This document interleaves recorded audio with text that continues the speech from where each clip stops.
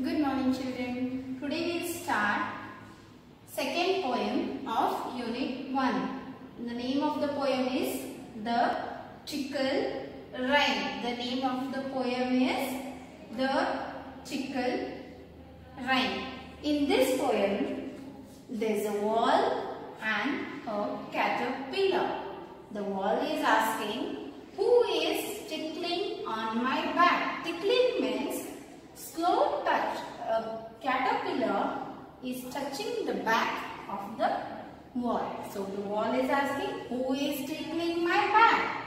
And the caterpillar says to the wall, no I am not tickling, I am learning to crawl. Hello children, here I'll show you how to read the rhyme. The name of the poem is The Tickle Rhyme.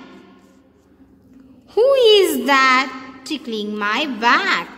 Asked the wall.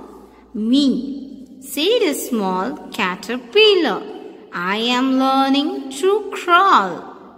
Children see that while learning, you keep your fingers while reading the words and read neatly and clearly. Thank you.